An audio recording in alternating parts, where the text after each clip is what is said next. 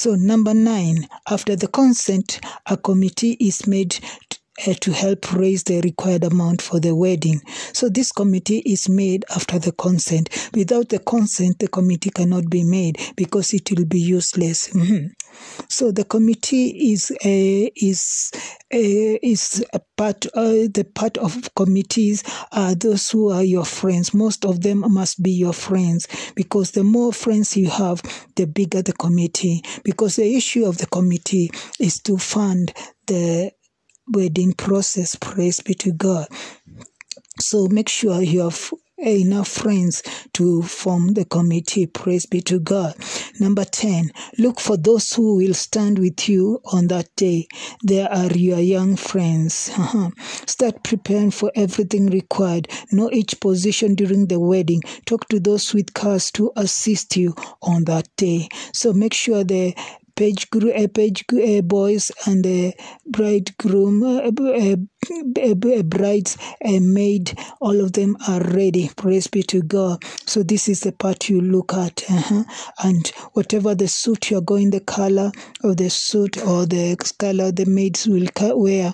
So this is what you discuss, both of you, and then you conclude, and then everything is ready, prepared, mhm. and look for the person who is going a tailor who is uh, cheaper to do the work without being very costly.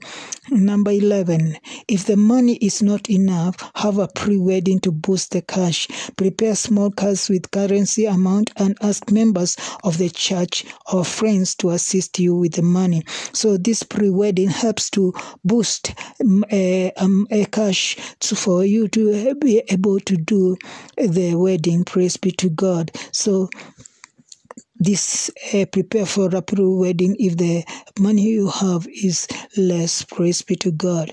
So number 12 discuss with your loved one where you will wish to stay the rent you can afford at the time. Praise be to god. So where you stay where you are a bachelor there you are known. So you have to shift from that home house to another one whereby you are not known. Praise be to god so that where you are not known there you can grow with your loved one. Praise be to God. And make sure that both of you agree. Because if one of you agrees and the other one doesn't agree, then it will be a blocking a blocking stone to your marriage. Praise be to God. Number 13. If starting a business uh, what kind of business are you willing to start for her? Remember, the man is already working. Praise be to God. So, as a man, we said that you must be working. Praise be to God, because you are the man of the house. Praise be to God. Adam was working before Eve came. So, my brother, my sister, I want you to know that well, before you marry, you must be working as a boy. Praise be to God. But for the lady, you can be working or not. That's that is up, your up is optional on your side. But for the boy, you must be working. Praise be to God. Because whatever is required, you can chip in with the money you get at end month. Praise be to God. Number 14, discuss of how many children you desire to have. Come up with how many and duration of each. So here you discuss with your partner how many children you desire to have. If you want three, four, maybe one, or the one, the many you want, praise be to God. But whichever way, may you agree. So and the duration of each child praise be to god. Number 15 know your partner's desire food they like favorite color what they like doing during leisure time.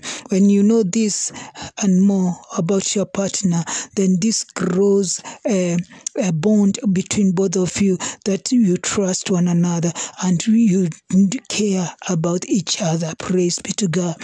Number 16 discuss the names you will call your newborn babies in these names you will agree that uh, for uh, the first boy will be named after the man's uh, father.